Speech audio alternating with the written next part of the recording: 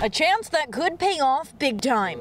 Good luck. Monday's Powerball jackpot is $1 billion, the second largest drawing in Powerball history. I Might as well. You got to buy a ticket, right? So uh, might as well take a chance. A lot of people are buying because it's a billion dollars. It's it's a lot of money, you know. The owner of the Shell station on Waterbury Road in Prospect, Abdul Hamid, knows a thing or two about selling winning tickets. In July, the store sold a $2 million ticket. Now people are hoping the store's luck is still hot. People come from long distance and buy uh, tickets from my store. Just one. Feeling lucky? Is that cool? Uh, yeah, we, we always play one.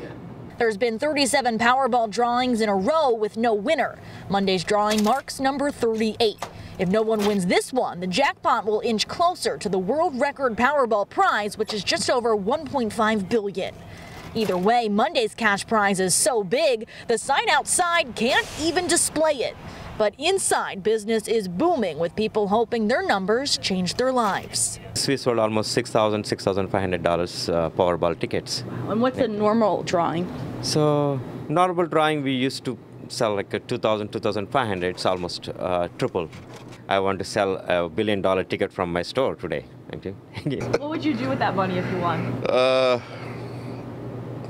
I can't even start to think.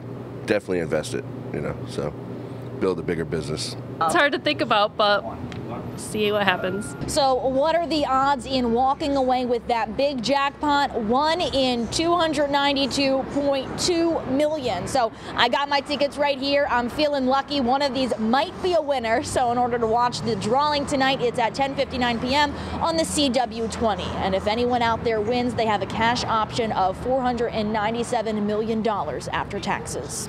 In Prospect, Lindsay Kane, Fox 61 News.